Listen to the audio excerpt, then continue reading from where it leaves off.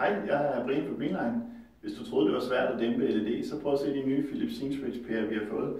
E I27 har vi haft længe, nu er E14 også kommet, og GO10 til spotsen i loftet.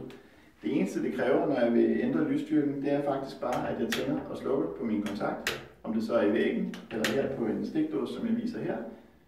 Mere skal der ikke til. Ingen lysdæmper, alt er klar. Hvis lyset har været slukket i mere end 6 sekunder, så vil den automatisk tænde op på den styrke, som den var på, da jeg slukkede. Det er jo smart, hvis man står op midt om natten og har haft det dæmpet om aftenen, så man ikke bliver blindet. Sådan. Nemmere bliver det ikke. Køb den hos Greenline. Søg på Philips SceneSwitch.